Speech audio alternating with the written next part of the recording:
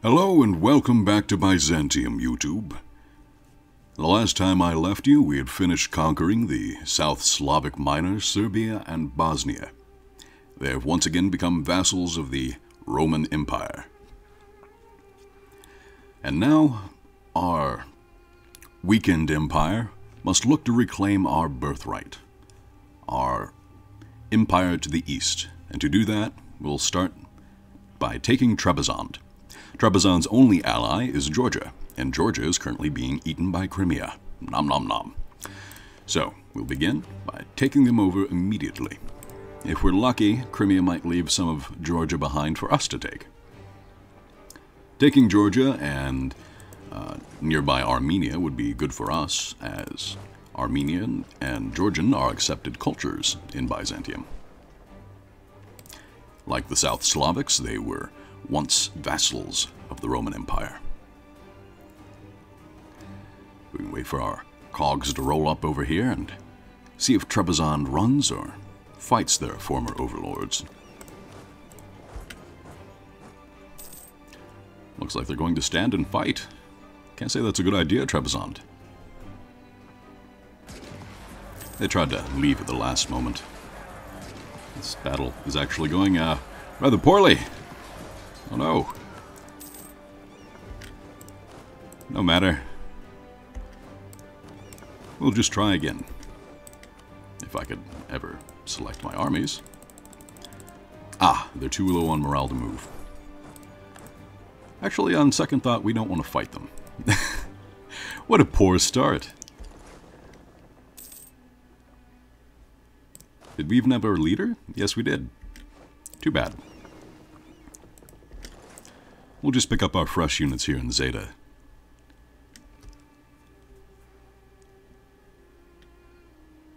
Inauspicious beginnings for the burgeoning Byzantine resurgence. And our trade ship got blown up.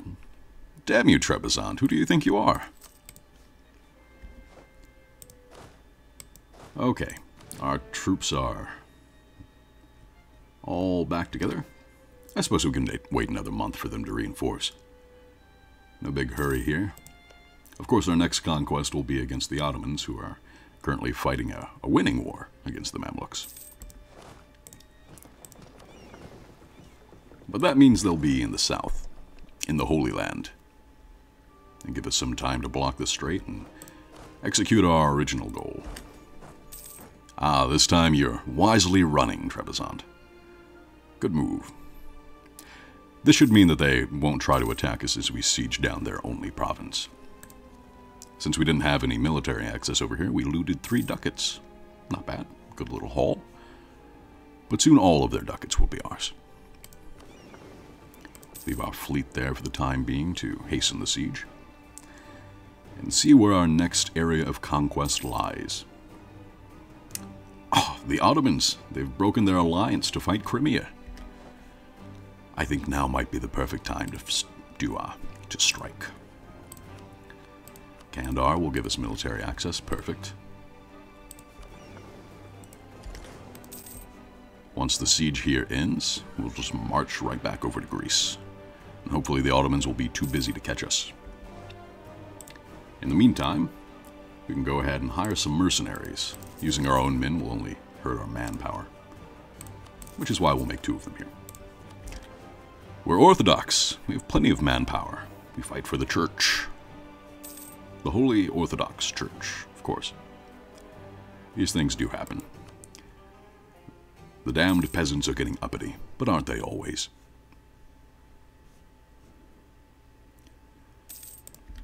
The war with Trebizond has ended. Welcome back, Trebizond.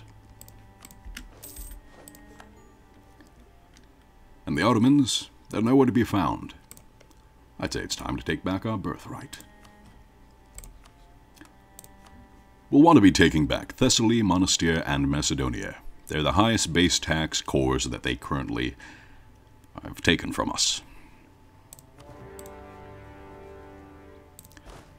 Now let's march our troops back here. And hopefully the Ottomans do not attack us. Ah, seems they're still busy In the meantime, we need to be increasing our relations with Athens. The year is approaching where we can reincorporate them to the Empire. Look at that. Bosnia. They hate us, but they're helping us. Wonderful.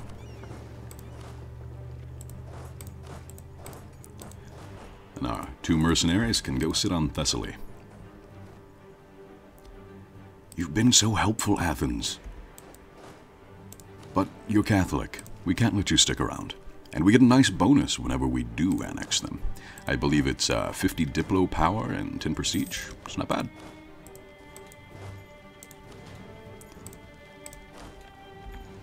We can set one unit in Sofia and half of the siege in Silistria to hasten this. Actually, the sooner we take Thessaly, the sooner we'll get a ticking war score, because that is the war goal, I believe. Yes, the Byzantine reconquest of Thessaly. And this is what it has all come back to. This was the strategy from episode 1, blocking the strait between Hudavendigar and Izmit. The Ottomans and all their vast hordes and their, their Timurid and QQ allies, they'll never be able to reach us. We will take back, well, at least part of Greece. Now there is a nice event. If you've occupied Monastir, oh, oh my. I'll leave that explanation for another time. We've had Venice declare war on us with all their their mighty inqui- all their mighty coalition members. I believed Austria and Poland would come into such a war. But it's only a weakened Austria who has not yet inherited Burgundy. They might not be able to withstand the hordes from Aragon, Papal State, Naples, and Hungary, although I don't believe Hungary currently has an army. Let's take a look through the ledger at the moment. And Hungary has no units. Hungary is going to get destroyed. Venice, on the other hand, I'm pretty sure they have a sizable army. Well, if we can prevent them from attacking us with their vast fleet. Aragon has a vast fleet. Naples has a vast fleet. We can end this war here quickly and turn our attentions on the Venetian scum. Attacking us when we're weak at all times during history. They really need to learn their lesson, don't they? Our fleet's just done. We can't do anything there. Just go away, Venice. Go away. Don't let the Ottomans come back.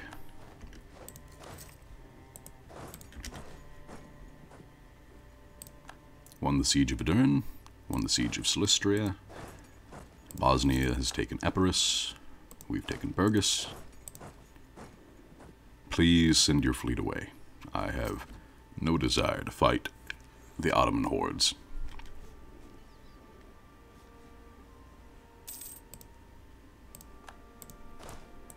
The faster we can group our armies, the uh, the faster we can step on anybody who gets in our way.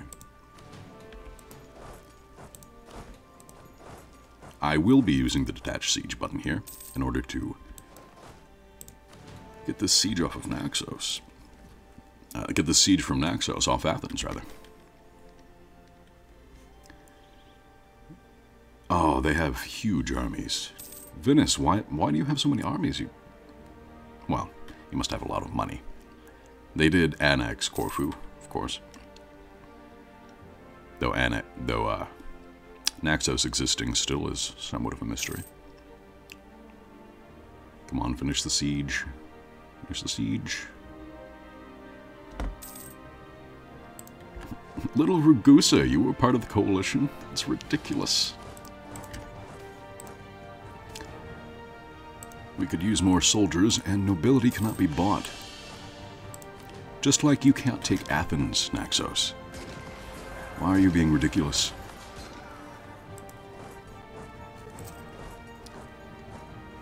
On to Zeta. On to conquest. Sofia. Sofia Rob. Why? Don't rob me of time. Well, you actually agreed. We were only at 28%. How fortuitous.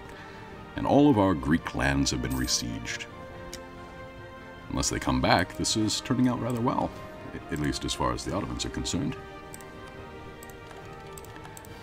Well, that is going to be it for this video.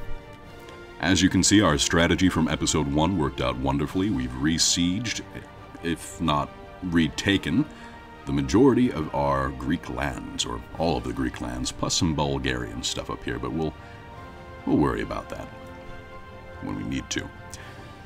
Venice, the dishonorable scum, has decided to attack us once again when we're at our weakest, and Austria seems to be taking the brunt of that.